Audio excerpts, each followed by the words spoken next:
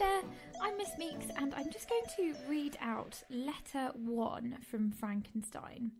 So, this is the first thing that we read right at the start of the story, and it's to Mrs. Saville in England, and it's from St. Petersburg, December 11th.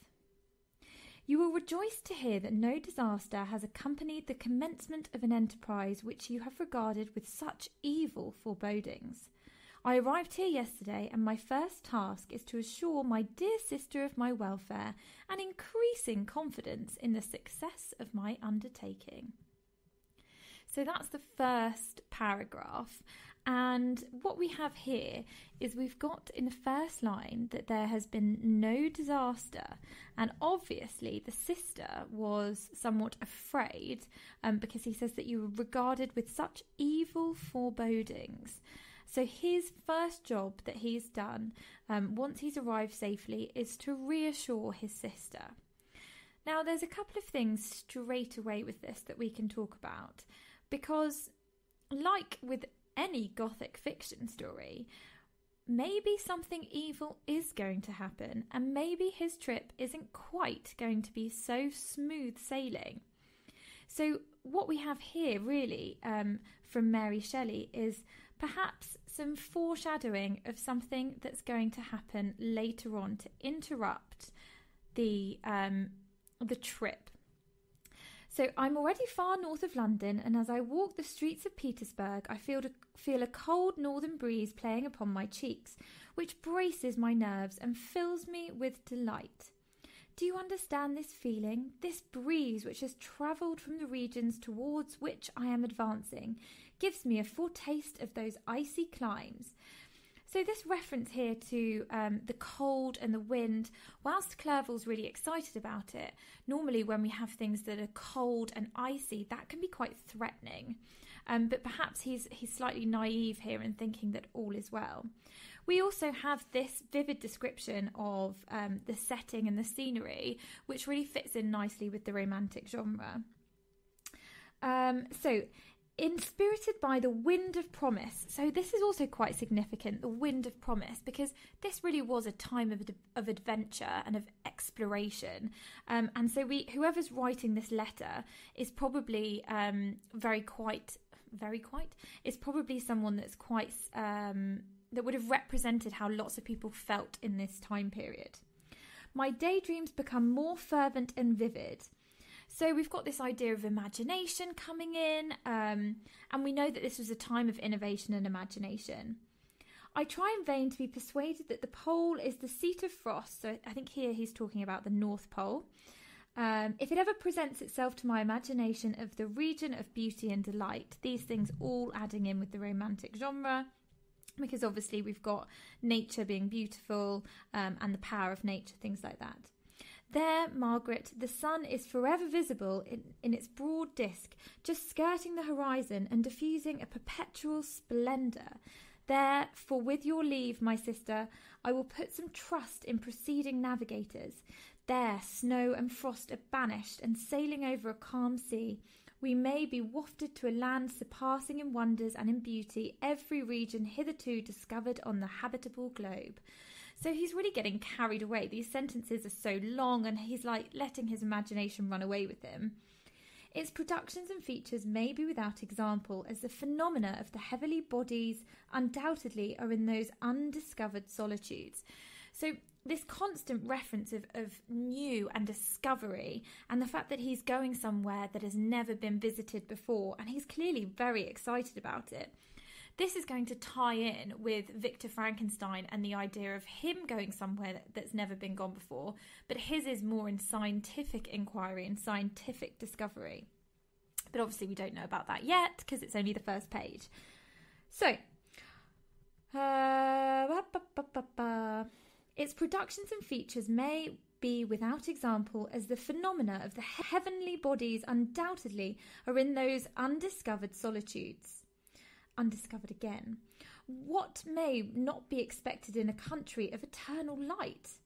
I may there discover a wondrous power which tracks the needle and may regulate a thousand celestial observations that require only this voyage to render their seeming eccentricities consistent forever.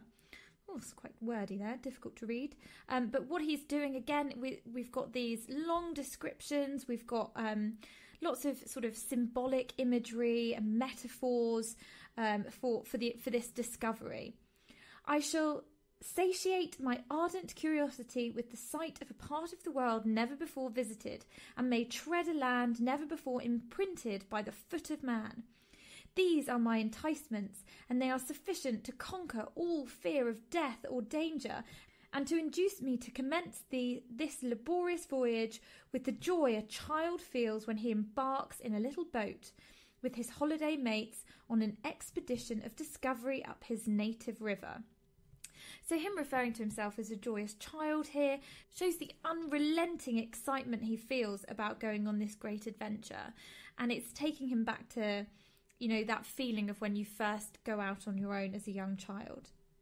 But supposing all these conjectures to be false, you cannot contest the inestimable benefit which I shall confer on all mankind to the last gener- generations by discovering a passage near the pole to these countries to reach which at present so many months are requisite, or by ascertaining the secret of the magnet this is quite interesting. Um, actually, if we think of science and we think of magnetism, and obviously we know that we have the north and the south poles of a magnet, and they actually um, match up with the north and south poles. So the magnetic pull is, is obviously something that's known at this time. These reflections have dispelled the agitation which I began my letter, and I feel my heart glow with enthusiasm which elevates me to heaven, for nothing contributes so much tranquils the mind as a steady purpose, a point on which the soul may fix its intellectual eye. So, this idea of looking, discovering, we've got the intellectual eye there, all adding in with this sense of adventure and new beginnings and um, expeditions. This expedition has been the favourite dream of my early years. I read with ardour the accounts of various voyages which have been made in the prospect of arriving at the North Pacific Ocean through the seas which surround the, po- the pole. You may remember that a history of all voyages made for purposes of discovery composed the whole of our good uncle Thomas's library. My education was neglected, yet I was passionately fond of reading. These volumes were my study day and night, and my familiarity with them increased that regret which I had felt as a child on learning that my father's dying injunction had forbidden my uncle to allow me to embark in a seafaring life. So, this is something that he's dreamed of his whole life. And um, he's obviously developed a strong love of it by reading all of the books in his uncle's library. These visions faded when I perused for the first time those poets whose effusions entranced my soul and lifted it to heaven. I also became a poet, and for one year lived in a paradise of my own creation. I imagined that I might obtain a niche in the temple where names of Homer and Shakespeare are cons- consecrated. You are well acquainted with my failure and how heavily I bore the disappointment. But just at that time, I inherited the fortune of my cousin, and my thoughts were turned into the channel of their earlier bend. So he's talking here about how um, once he was told that he wasn't allowed to be an explorer, he decided to sort of live in a world of his own creation. So that's where he's talking about how he became a poet and he would write his own stories, and he hoped that one day he would be as famous as Homer and Shakespeare. But he wasn't particularly good at it, unfortunately. And when he inherited some money and realised he could afford to go out on an exploration, then his ideas went back to his old dreams that he has as a child. Six years have passed since I resolved on my present undertaking. I can even now remember the hour from which I dedicated myself to this great enterprise. I commenced by inuring my body to hardship. I accompanied the whale fishers on several expeditions to the North Sea. I voluntarily endured cold, famine, thirst, and want of sleep. I often worked harder than the common sailors during the day and devoted my nights to the study of mathematics, the theory of medicine, and those branches of physical science from which a naval adventurer might derive the greatest practical advantage. So he is talking about the dedication that he's made. So he's obviously going to be prepared, or as prepared as he can be, for an expedition like this. Twice I actually hired myself as an undermate in a Greenland whaler and acquitted myself to admiration. I must own I felt a little proud when my captain offered me the second dignity in the vessel and entreated me to remain with the greatest earnestness, so valuable did he consider my services. So we know Walton was obviously very good at his position because when he was going out and working as a whaler, um, the captains of the ship they wanted to hire him. And now, my dear Margaret, so we know now that he's he's definitely we can see this is the form of a letter because he keeps referring to the audience, um, and Margaret is his sister, as we know from earlier. So and now, my my dear Margaret, do I not deserve to accomplish some great purpose? Rhetorical questions there, always leaving the reader to feel like you've got to agree with them. My life might have been passed in ease and luxury, but I preferred glory to every enticement that wealth placed in my path. Oh, that some encouraging voice would answer in the affirmative. My courage and my resolution is firm, but my hopes fluctuate and my spirits are often depressed. I am about to proceed on a long and difficult voyage, to say the least the emergencies of which will demand all my fortitude. I am required not only to raise the spirits of others, but sometimes to sustain my own where theirs are failing. This is the most favourable period for travelling in Russia. They fly quickly over the snow in their sledges, the motion is pleasant, and, in my opinion, far more agreeable than that of an English stagecoach. The cold is not excessive if you're wrapped in furs, a dress which I've already adopted, for there's a great difference between walking the deck and remaining seated motionless for hours when no exercise prevents the blood from actually freezing in your veins. I've no ambition to lose my life on the post roads between St. Petersburg and Archangel.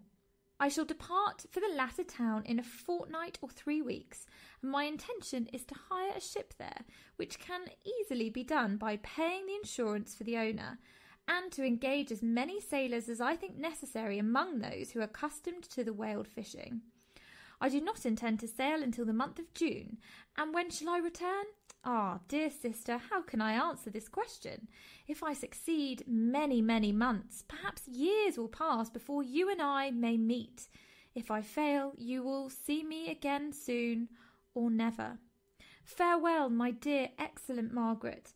Heaven shower down blessings on you and save me, that I may again and again testify my gratitude for all your love and kindness. Your affectionate brother, R. Walton. So that's it. That's our first letter, and that's introducing our story, which it doesn't really feel like this is going to be a story about a a monster that's been brought to life by electricity and is going to walk around killing people it seems like it's going to be a story about an adventure on a ship. But this is quite interesting because there's a few parallels, as I've already said, between this sense of exploration, whether that be um, physically exploring the world or exploring the realms of science, which Victor Frankenstein does. Okay, I hope this has been helpful, and I'll be back soon.